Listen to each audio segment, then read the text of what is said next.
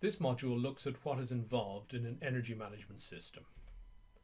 The greatest industrial energy efficiency improvements are achieved through changes in how energy is managed, not through installation of new technologies. An energy management standard provides a method to integrate energy efficiency into existing industrial management systems. And all existing energy management systems that follow ISO 50001 are compatible with the quality management standard ISO 9000 and the environmental standard ISO 14000.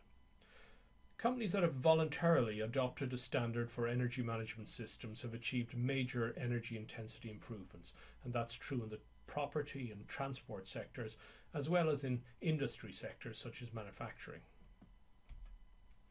Monitoring people's movements and controlling, or at least influencing, elements of their behaviour to encourage the efficient use of energy is one focus of energy management. On the technology side, there's a wide range of proven tools that are readily available for energy management, and the list is growing. In choosing technologies, you should look for the best available. You should consider energy efficiency and operation, as well as maintenance requirements.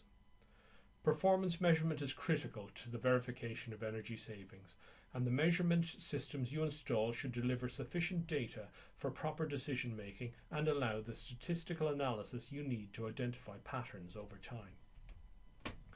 In order to obtain energy performance improvements, you must conduct an energy review and identify an action plan.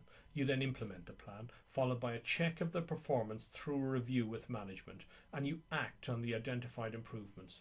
Together, these steps complete a cycle plan, implement, review, and improve. Plan, implement, review, and improve can also be described as in this flow diagram as a plan, do, check, act cycle. They're essentially the same cycle. In this flow chart, once top management commits to an energy management system, the energy review takes place, generating recommendations for energy performance improvements. Decisions are then made on which recommendations to put into the plan. Aspects that require no significant capital expenditure can be implemented immediately.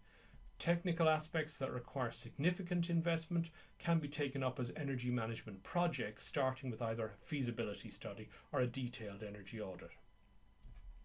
The goal is to improve energy performance, but you have to be careful when defining energy performance. Performance can be measured in terms of cost, absolute use, or with various energy use ratios such as kilowatt hour per unit of business, or in terms of CO2 emissions. To sum up, an energy management standard requires a systematic approach and combines behaviour change among all the workforce, including management, with the use of energy monitoring to generate data to objectively determine performance, followed by corrective procedures, and technical improvements backed by management approval, Finally, immediate implementation of low or no capital cost changes to existing equipment.